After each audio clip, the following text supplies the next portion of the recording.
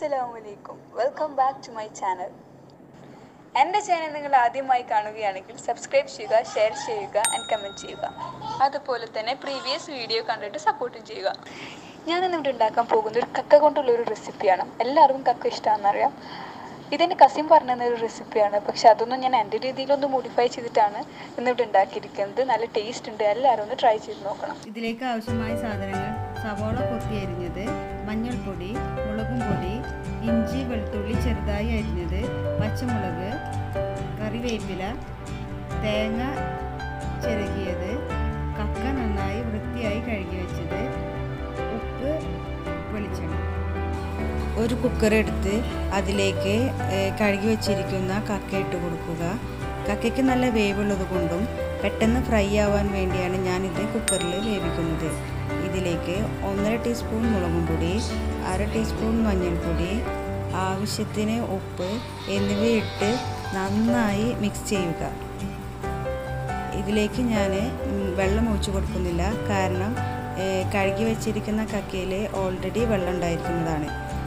എന്നിട്ട് ഇത് ഗ്യാസിൽ വെച്ച് രണ്ട് വിസിൽ വരെ വേവിച്ചെടുക്കുക. ആവി പോയതിന് ശേഷം നമുക്ക് കുക്കർ തുറന്നു നോക്കാം. അപ്പോൾ നോക്കിയപ്പോൾ ഇതിൽ കുറച്ച് വെള്ളം ബാക്കിയുണ്ട്. അപ്പോൾ നമുക്കിത് ഹൈ ഫ്ലെയിമിലിട്ടിട്ട് ഈ വെള്ളം വെറ്റിച്ചെടുക്കാം ഇപ്പോൾ ഇതാ വെള്ളമൊക്കെ നന്നായിട്ട് വെറ്റിയിട്ടുണ്ട്. ഇനി നമുക്ക് കുക്കർ മാറ്റി ഒരു പാൻ വെക്കുക.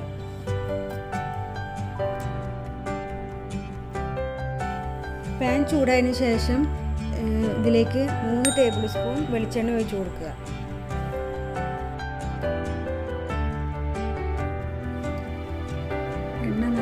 ചൂടായതിനു ശേഷം നമുക്കിതിലേക്ക് കക്ക ഇട്ട് കൊടുക്കാം. കക്ക പൊട്ടിത്തെറിക്കാനുള്ള ചാൻസ് വളരെ കൂടുതലാണ്. അപ്പം നമുക്ക് തീ കുറച്ച് വെക്കണം. എന്നിട്ട് നന്നായിട്ട് ഇളക്കി കൊടുക്കുക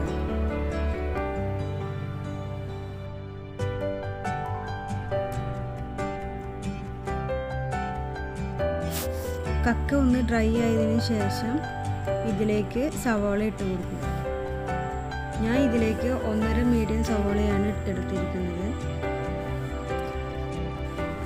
എന്നിട്ട് നമുക്ക് ഒരു രണ്ട് മൂന്ന് മിനിറ്റ് നേരം വഴറ്റി കൊടുക്കുക.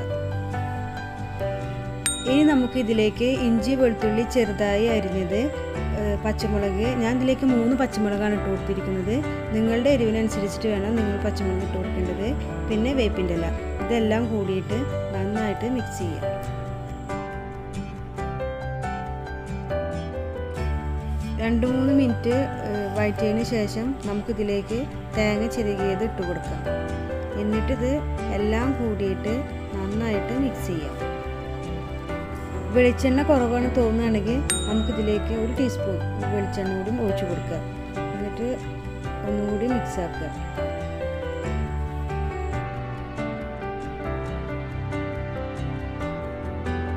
ഞാൻ കക്ക വേവിക്കുമ്പോഴാണ് കുറച്ച് ഉപ്പിട്ട് കൊടുത്തിട്ടുണ്ടായിരുന്നത്.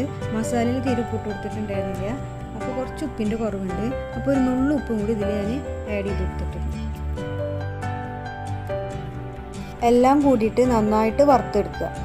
കക്കയും തേങ്ങയും സവോളയും എല്ലാതും നന്നായിട്ട് ബ്രൗൺ കളറാവുന്നത് വരെ വറുത്തെടുക്കുക. ഇതേപോലെ ആവണം. ഇപ്പോൾ നമ്മുടെ കക്ക ഫ്രൈ റെഡി ആയിട്ടുണ്ട്. ഇനി നമുക്ക് ഫ്ലെയിം ഓഫ് ചെയ്യാം. ഇത് ഉണ്ടാക്കാൻ വളരെ എളുപ്പമാണ്. നല്ല ടേസ്റ്റുമാണ് അപ്പോൾ എല്ലാവരും ട്രൈ ചെയ്ത് നോക്കുക. അപ്പോൾ നമുക്ക് അടുത്ത വീഡിയോയിൽ കാണാം. അതുവരേക്കും ബൈ